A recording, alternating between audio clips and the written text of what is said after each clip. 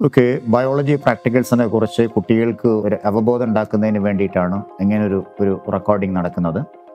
നമുക്കറിയാം biology total marks hundred marks ആണ് including theory and practicals അതിൽ തിയറിക്ക് സെവന്റി മാർക്സ് പോയി റിമൈനിങ് തേർട്ടി മാർക്സ് പ്രാക്ടിക്കൽസിനാണ് ഈ പ്രാക്ടിക്കൽസ് നോർമലി മേജർ ക്വസ്റ്റ്യൻസ് ഉണ്ട് മൈനർ ക്വസ്റ്റ്യൻസ് ഉണ്ട് അതേപോലെ സ്ലൈഡ് പ്രിപ്പറേഷൻ ഉണ്ട് പ്രോജക്ട്സ് ഉണ്ട് അതേപോലെ വൈവ ഉണ്ട് ദെൻ സ്പോർട്ടേഴ്സ് ഉണ്ട്. ഇതിൽ ഇങ്ങനെ കൺവേ ചെയ്യുന്നതിന്റെ മെയിൻ ഇന്റൻഷൻ എന്ന് പറയുന്നത് നിങ്ങൾ പ്രാക്ടിക്കൽ ക്ലാസ്സിലേക്ക് പോകുന്നതിന് മുൻപേ തന്നെ നിങ്ങൾക്ക് പ്രാക്ടിക്കൽസിനെ കുറിച്ചൊരു ഐഡിയ കിട്ടുവാനും വളരെ എഫക്റ്റീവായിട്ട് നേരത്തെ അത് കണ്ട് മനസ്സിലാക്കി അതിന്റെ കണ്ടന്റ് ക്ലിയർ ആയ ശേഷം നിങ്ങൾ പ്രാക്ടിക്കൽ ക്ലാസ്സിലേക്ക് പോവുകയാണെങ്കിൽ നിങ്ങൾ കുറച്ചുകൂടെ എളുപ്പത്തിൽ അത് ചെയ്യുവാനും അത് മനസ്സിലാക്കുവാനും പറ്റും. ഇങ്ങനെ നമ്മൾ പഠിച്ചു പോയി കഴിഞ്ഞാൽ ഉറപ്പാണ് പ്രാക്ടിക്കൽസിനുള്ള തേർട്ടി മാർക്സ് നിങ്ങൾക്ക് അഷ്യൂർ ചെയ്യാൻ പറ്റും.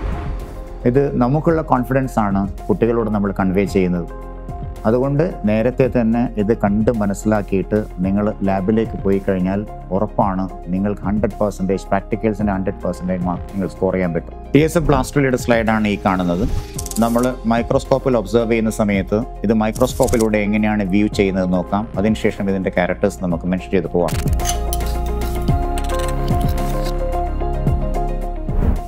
ഓക്കെ ബ്ലാസ്റ്റ്ല എന്ന് പറയുമ്പോൾ നിങ്ങൾ സെക്കൻഡ് ഇയർ ഹ്യൂമൻ റീപ്രൊഡക്ഷനിൽ പഠിച്ച എംബ്രിയോണിക് ഡെവലപ്മെന്റൽ സ്റ്റേജസ് ഉണ്ട്.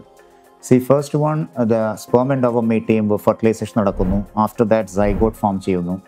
Zygote gradually transformed into another stage called morula morula normally eight to sixteen cell stage ഉണ്ടാവുന്നത്. So the transformation of the morula into the blastula actually rearrangement of cells ആണ്.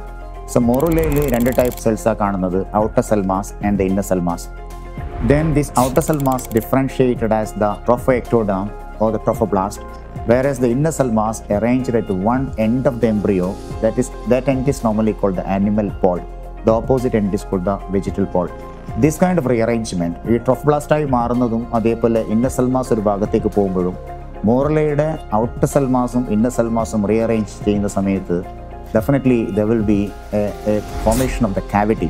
This cavity is called the blastocele. So ബ്ലാസ്റ്റുകളുടെ cavity blastocoel എന്ന് പറയുന്ന ആ character എഴുതേണ്ടിയിരിക്കുന്നു.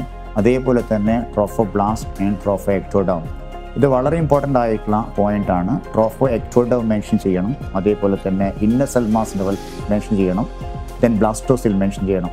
The inner cell mass actually these are the precursor of future embryo actually this inner cell mass develops into the future embryo ഇതാണ് ഈ ബ്ലാസ്റ്റോലിയയുടെ വളരെ important ആയിട്ടുള്ള characters അപ്പോൾ ഇത്രയും എഴുതി കഴിഞ്ഞാൽ ബ്ലാസ്റ്റോ നിങ്ങൾ ഐഡന്റിഫൈ ചെയ്തു ക്യാരക്ടേഴ്സ് കൺവേ ചെയ്തു ദ സ്പോർട്ടേഴ്സ് നിങ്ങൾ കംപ്ലീറ്റ് മാർക്കായി